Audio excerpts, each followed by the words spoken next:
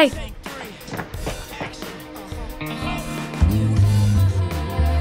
Um, who are you?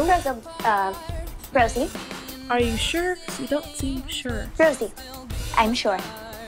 Okay, so what are you yes, doing Yes, she's here? been very lovely. Lovely? Of course, the suite is much smaller than I'm used to, but it will feel much larger once I have that extra bed removed. It's not extra, it's mine. Will you excuse me for a sec? Yes, you are excused. You have made other sleeping arrangements? Look, the room is not yours. It's ours. We share it. Share. Share. I know it might be a foreign concept for a princess, but what it means is that you get one side of the room and I get the other. So stay on your side.